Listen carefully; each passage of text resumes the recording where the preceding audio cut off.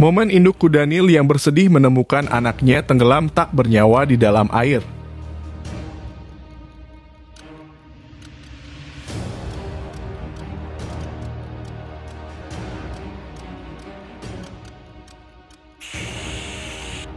Tragisnya, anak kudanil yang tak bernyawa ini menjadi makanan gratis yang lezat untuk buaya di perairan. Melihat bangkai kudanil yang tergeletak, buaya ini antusias untuk memakannya.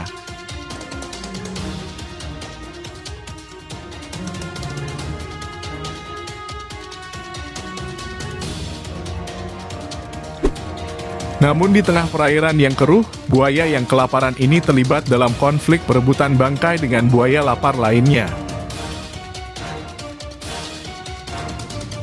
Akhirnya buaya ini sepakat untuk memakannya bersama-sama.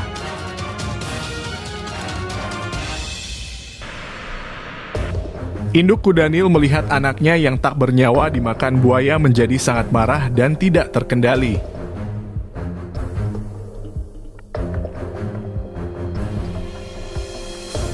Ia dengan berani menghampiri kelompok buaya dan mencoba membubarkan pesta makan daging anaknya.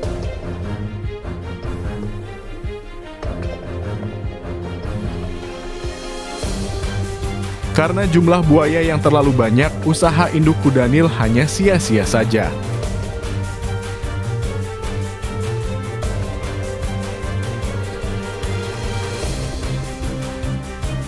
Buaya yang mengandalkan rahang dan gigitan yang kuat berhasil merobek kulit bangkai kudanil yang keras.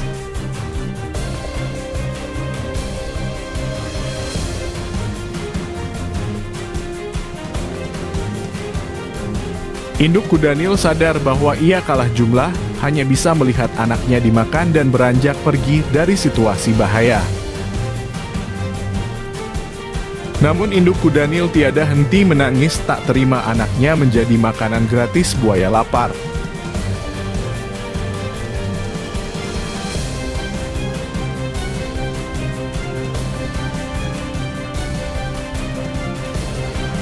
Akhirnya kudanil ini kembali ke kawanannya dan mengajak kawanan kudanil untuk melakukan penyerangan brutal terhadap buaya.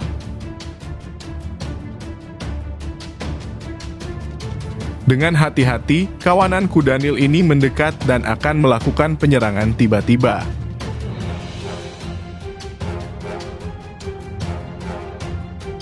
Namun kawanan buaya ini mengetahui rencananya induk kudanil dan berhasil melarikan diri sebelum bertemu dengan kelompok kudanil yang ganas.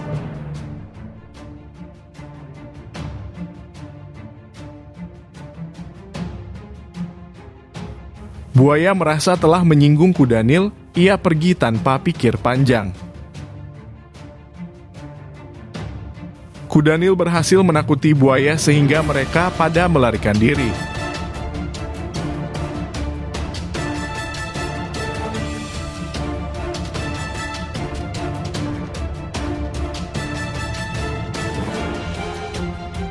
Namun ada satu buaya malang yang terjebak di antara kawanan kudanil yang ganas.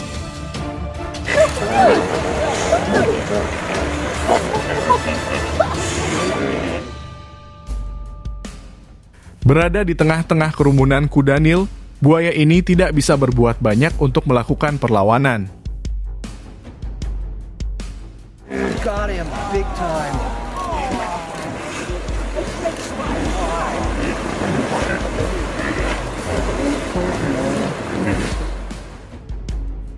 Buaya tidak menyangka bahwa ia akan mengalami situasi yang sangat menyeramkan seperti ini.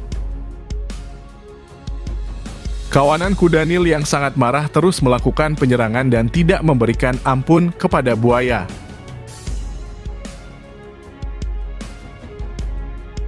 Inilah kerasnya kehidupan di alam liar.